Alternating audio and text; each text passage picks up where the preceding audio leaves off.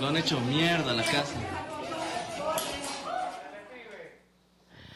Lo que viene en pantalla son las imágenes de la residencia del eh, renunciante presidente de Bolivia, Evo Morales. Una turba entró hasta su casa y han destruido todo lo que hay allí. Del mismo modo han quemado casa de gobernadores, de funcionarios públicos, han entrado también a casa de periodistas. Es una situación de hostilidad total la que viven los exfuncionarios ahora, la mayoría, eh, algunos incluso han salido del país, otros como el canciller ya se hablan de que se han trasladado por la vía fronteriza una situación de caos en Bolivia, evidentemente. Esto se produce después de la renuncia del presidente boliviano, una renuncia que estuvo precedida de varios acontecimientos y que hoy queremos tratar aquí. Le traemos las imágenes, la guardia, la policía interviniendo otra vez en América Latina para destituir a un presidente electo en las urnas. Obviamente implica que mm, hay errores, nadie lo niega, pero la situación que se dio ayer es inaceptable. Aquí haremos un recorrido en imágenes, esa es la residencia de Evo Morales,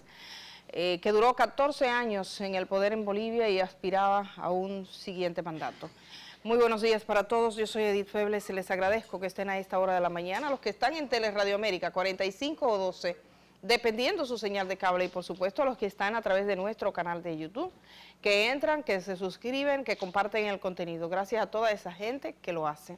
Hoy tenemos, además de Bolivia, otros temas. Nos ocupamos del caso de un joven. Tengo la fotografía, Sandy Guerrero. Sandy es un joven de apenas 20 años de edad en la provincia de la Altagracia, en Higüey. Fue asesinado.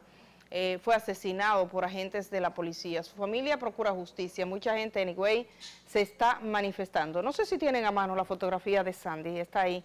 Es la imagen de un joven que posteriormente les mostraré a ustedes todos los detalles de lo que ocurrió con este joven, su familia, hoy está en nuestros estudios para eh, hacer las aclaraciones del lugar, decir el contexto en el que se produjo esta muerte por la cual están reclamando justicia. Padre de una niña, así eran las últimas palabras de él al policía que lo mató. No me mate, que tengo una niña.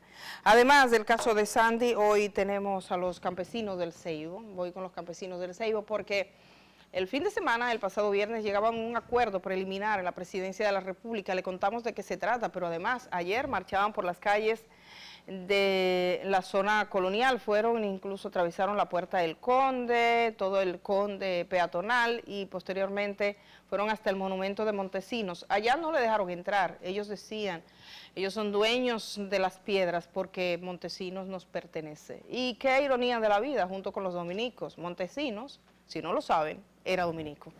Me voy a la pausa con las imágenes del Seibo, no sé si tienen la de Sandy, si no la tienen la mostramos cuando regresemos, la del Seibo supongo que sí que están.